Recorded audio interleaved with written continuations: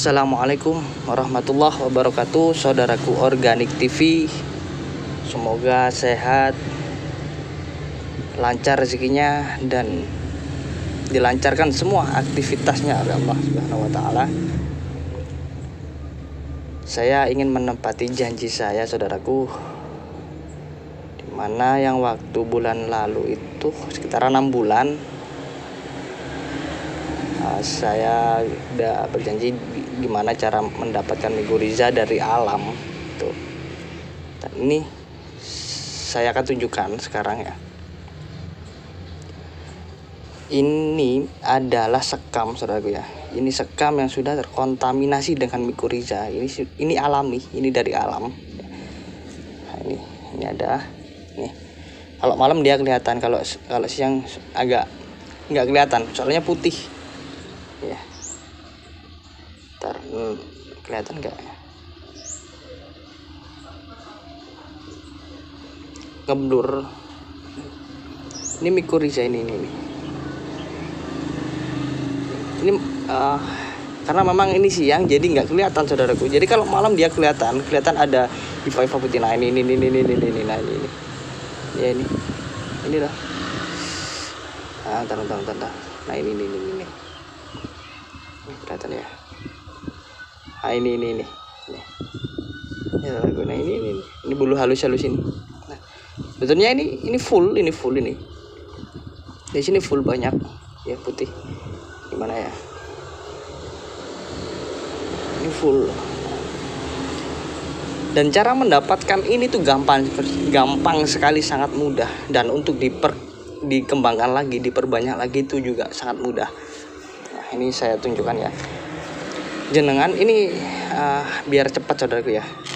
Jenengan itu ambil tanaman dia yang suka panas. Ya saudaraku ya. Jadi dia yang suka panas dia hidupnya yang suka pokoknya hidupnya dia sukanya panas. Maksudnya di sinar matahari secara langsung ya. Jadi kalau kalau dia musim musim hujan dia perkembangannya kurang bagus. Jadi kalau dia di musim panas dia sangat bagus perkembangannya. Nah saya contohkan misal ini kayak tumbuhan krokot itu ya. Krokot yang uh, di dia kalau kena panas dia akan ngembang. Kalau dia berbunga dia akan akan mengembang. Keluar bunganya itu yang warna merah warna putih itu ya itu dia kalau musim panas dia sangat suka. Nah di situ kalian bisa mendapatkan. Nah di situ kalian dapatkan. Nah asal syaratnya satu medianya harus pakai sekam sekam mentah ya. Sekam mentah lagi ya. Sekam mentah. Jadi gini saudaraku. Sekam saya contohkan ini sekam umpama ya. Ini sekam sekam mentah ya. Ini sekam mentah jenengan kalau mau disterilkan nggak apa-apa kalau tidak disterilkan nggak apa-apa. Kalau disterilkan jenengan ambil ya ambil. Mama ini ini diisi dengan sekam ya. Sekam semua ya diisi sekam semua. Ini untuk awal aja nggak apa sekam semua sekam mentah. Kemudian diisi air panas ya dikasih garam setengah sendok uh, satu sendok teh aja. Garam grosok garamnya kayak gini garam grosok ini garam karah garam kasar ini dia ya. Seperti ini garamnya. Garam kasar. Satu sendok teh aja. Ya.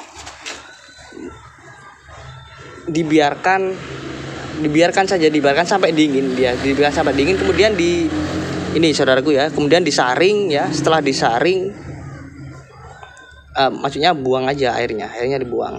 Airnya dibuang udah biarkan kemudian dikasih itu tanaman itu krokot itu tadi. Ya.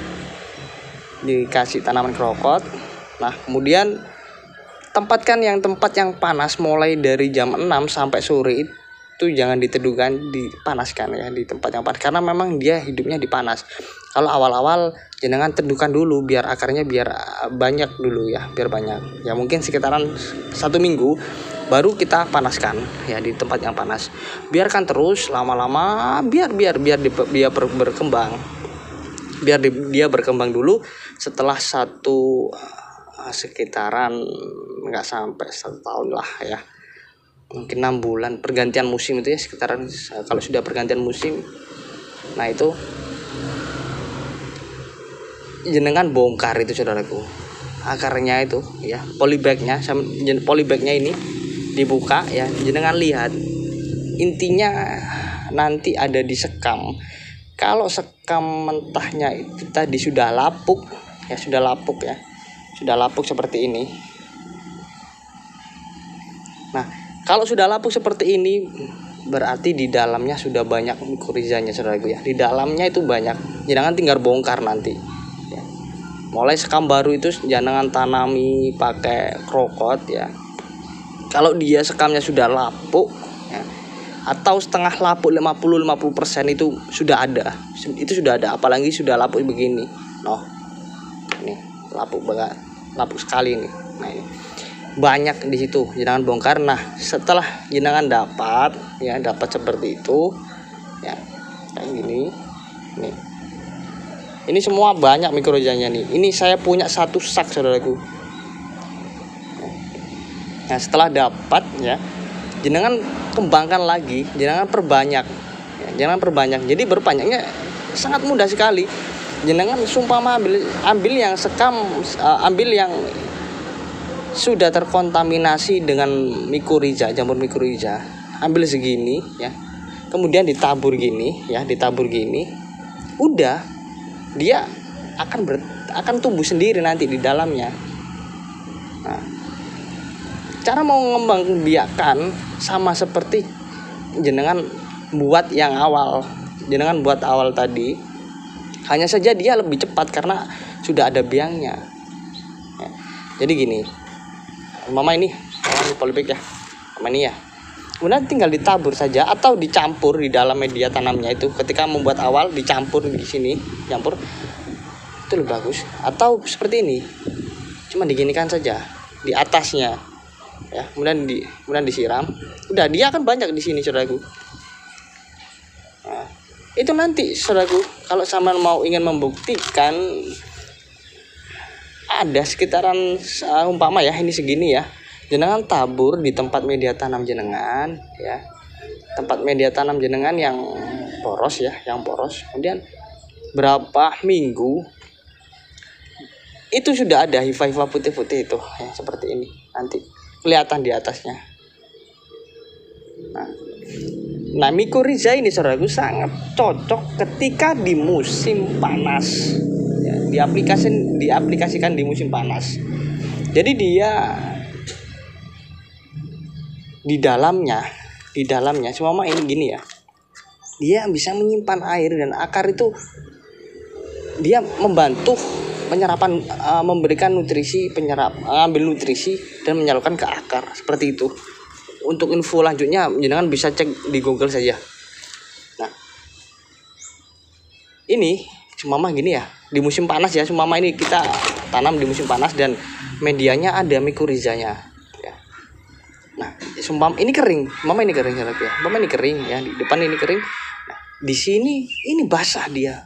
Dia belum belum kering di situ dia bisa menyimpan. Dia ada air di sininya. Kelebihan mikrodeja seperti itu kalau di musim peng, kalau di musim kemarau.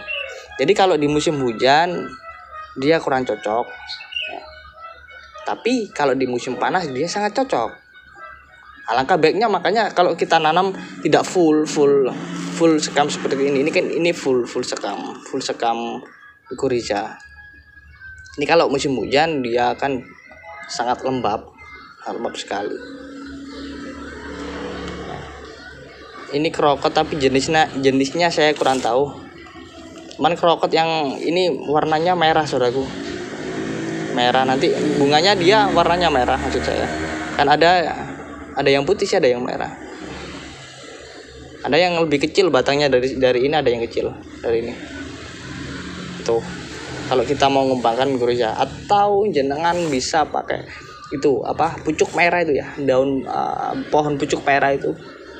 Itu kalau jenengan tanam itu setelah setelahnya sampai bongkar ya.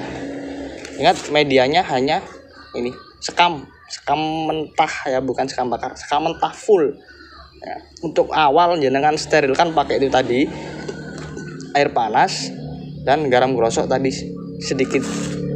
Nah di sini uniknya lagi saudaraku. Saya sudah buktikan ini ya. Ini jenengan bisa lihat ini. Ini lembab. Ini enam bulan saudaraku. Ya ini enam bulan kondisi awal ini air sekitaran 5% mungkin ya. Nggak ada. Soalnya ini waktu itu saya ambil kondisinya bukan bukan berair tapi bukan lembab juga. Nggak kering tapi agak ya mungkin 5% airnya itu. Ya. Orang dia saya pegang itu dingin kemudian saya pers itu nggak ada airnya cuman dingin sejuk di tangan ya tanahnya ini ya. Saya campur dengan mikuriza mikuriza ini saudaraku saya campur ini ya medianya dan saya saya tuh uh, apa ini saya ikat saja kemudian saya taruh di kresek. Ini kena panas saudaraku ya saya tutup pakai kresek ini loh. Ini. Saya tutup pakai kresek ini saya buntel gini kan saya taruh ini. Ini ini ini, ini kresek coba ini. Nah, nah saya ikat gini. Ya udah. Saya gantung. Ini kena panas. Mulai jam 12 sampai jam setengah tiga. Ya. ini udah enam bulan saudaraku udah enam bulan. Saya coba. Saya campur tanah sama akar bambu. Ya. Ini saya coba akar bambu saya ambil dan tanahnya saya ambil saya campur di sini. Dan dia hidup saudaraku. Ini. Dia hidup. Kalau malam dia sangat banyak kelihatan. Ini nah ini. Kelihatan. Kalau malam sangat banyak nih kelihatan. Penuh nah ini. Nah di sini tanahnya tidak kering dia tetap tetap lembab apa ya dia tetap uh, dingin tidak basah. Ini saya buka dulu ya. Ini saya pertama kali buka ini. Belum saya buka cuman saya mengamati memang ini belum kering medianya. Nah apa kan? Betul kan? Ini ini medianya nggak kering kan? Ini nah full ini saudaraku. No full. Full mikurija ini. Lihat nih kalau malam dia kelihatan saudaraku. Ini ini ini ini. Ini no no uh subhanallah istimewa. Ini. Ini lihat saudaraku. Ini tidak kering. Nah ini dingin ini nah lembab ini. Ntar ya saya ambil dulu. No. Putih semua ini ini ini, ini putih semua ini. Ini nggak kering. Nggak kering. Cuman ini seumpama saya ambil. Saya ambil ya umpama. Ini logika saja kita ambil tanahnya dengan akar bambu. Ya kemudian kita tutup kita ikat pakai ini saudaraku ya. Kita itu pakai ini. Dibiarkan. Nggak sampai enam bulan sudah kering medianya. Udah kering udah kering. Coba saja udah kering. Ini saya tidak mencoba di nggak pak apa? Seharusnya kan seharusnya saya harus coba dua-duanya satunya itu pakai mikuriza dan satunya tidak. Hanya tanah dan akar gitu aja sebetulnya ya. Tapi bisa ya bisa buktikan bahwa kalau jenengan cuman tanah tanah di bawah bambu dan akarnya itu akar-akarnya juga ikut saya jamin mungkin insya Allah nggak sampai satu bulan lah satu minggu udah kelihatan dia kering. Apalagi kita tutup cuman gini saja. Udah ini udara bisa masuk. Keluar masuk keluar masuk ya. Ini buktinya saudara dia sangat bagus. Dia sangat bagus ini untuk mikurizal wow full ini full full. Kalau malam kelihatan saudaraku.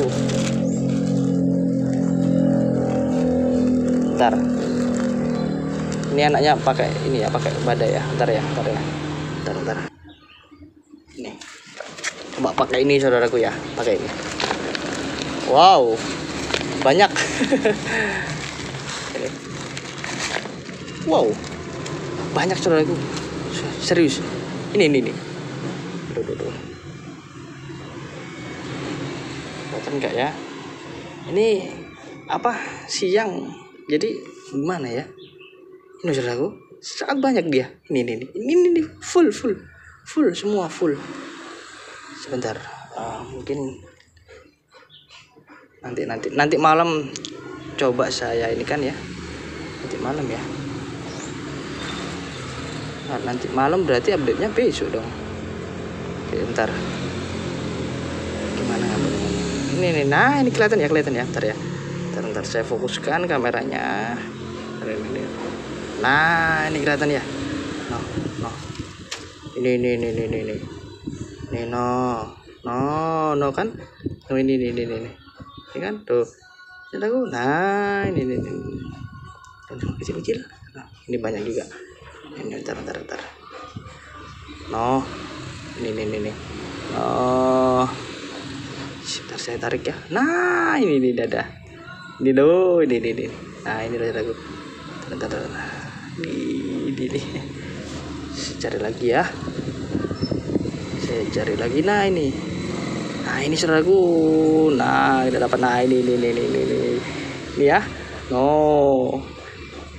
Kayak teksturnya kayak apa sih ini?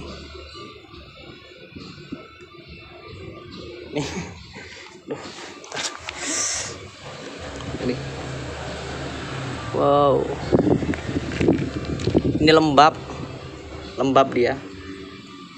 Padahal udah enam bulan mulai bulan 6 tanggal 3 saya cek tuh tanggal 3 bulan 6 2021 sekarang November.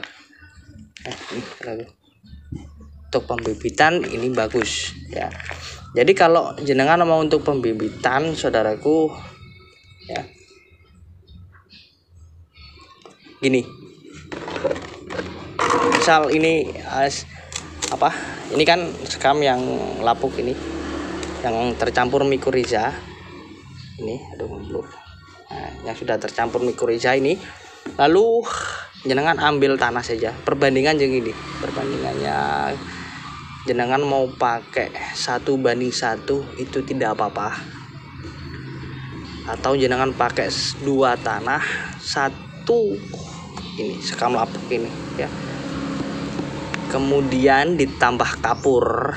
Kapur dolomit itu sedikit saja sedikit cuman nanti ketika di tanah ya misal misal gini ini ini kan uh, ambil uh, gini gini gini. Ini ya satu baskom sini ya satu baskom. Ini tanah tuangkan tanahnya tuangkan tuangkan dulu. Lalu di atasnya itu di atasnya tanah ini jangan tabur kapur. Dolomit itu di atasnya sedikit saja sedikit. Lalu masukkan masukkan apa uh, ini. Ini masukkan ini yang terkontaminasi mikoriza jangan mau pakai satu baskom juga atau setengahnya boleh ya boleh. Nah saya pakai satu banding satu. Akan tetapi tak saya nggak pakai tanah saudaraku. Saya pakai kompos. Kalau kompos kurang baik menurut saya sih ya. Lebih baik untuk persemaian itu ada tanahnya. Seperti ini saudaraku jadinya. Ini nah kelihatan kan? Ini. Sekarang sekarang lepetnya ini saya coba. Ini tumbuh ini full sebenarnya. Ini satu satu satu satu. Yang tumbuh cuma satu dua tiga empat. Ada empat. Yang ini di uh, bukan bukan. Oh enggak saudaraku. Yang ini di sini mungkin ya di sini. Di sini yang tumbuh itu ada satu dua tiga empat lima di sini. Di sini itu ada cuman dia dimakan sama dimakan dimakan sama cakus ya tikus. Ya dimakan sama tikus itu. Habis awalnya dimakan daunnya saja kemudian sampai batangnya sini. Besoknya lagi udah habis sampai rata sampai di tanah dia habis di situ. Ini subur saudaraku. Kalau kita pakai mikoriza untuk pembibitan itu sangat bagus. Terserah terserah jenengan mau untuk media pembibitannya seperti apa. Yang penting ini masuk ya mikoriza. Jadi mikorizanya ini harus masuk. Kalau untuk pembibitan itu sangat bagus sekali.